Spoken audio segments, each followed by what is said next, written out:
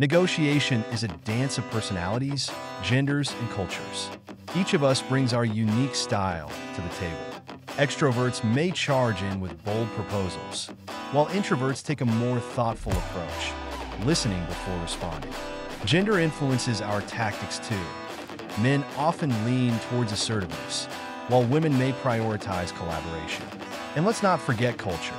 High-context negotiators value relationships and patience, while low-context counterparts focus on directness and efficiency. By understanding these differences, we can adapt our strategies, foster respect, and achieve outcomes that benefit everyone involved.